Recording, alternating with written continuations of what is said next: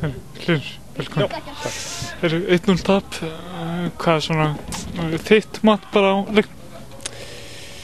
Já, við gerum ekki nóg til að vinna leikin, það er alveg klart og hérna þetta er búin að vera svona svolítið hjá okkur að vanti alltaf heslumuninn til að klára leikina og það er eitthvað sem við verðum að fara að vinna í.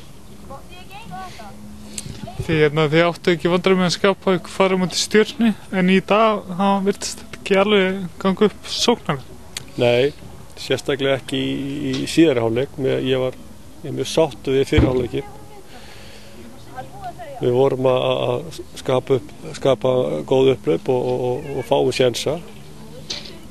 En síðan fáum við alltaf einhvern veginn svona mörk í bakið. Og, og það er náttúrulega mjög mikilvægt að við fyrir að nýta eitthvað af þessu færu sem við fáum. Og annars vinnum við ekki leiki, það er alveg klart mál. Er alltaf svekkið þetta að tapa og, og fá svo, á, á sig svona mark eins og við fengum á okkur í dag. Já, þetta er þetta er svolítið einleiki hjá okkur. Við hérna þetta er annar að þriðleikunum röð sem við fáum svona ódumörk á okkur og, og við verðum að setja stopp á það. Það er alveg, alveg á reynu Og núna er alltaf innbyttingin bara mest öll á dildinni.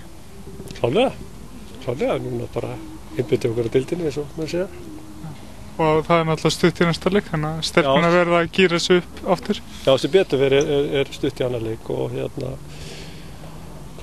og það er mig minn er rétt heimaleikur og hérna við verðum að nýta þann séns og, gera það vel Takk hjá fyrir. Ekki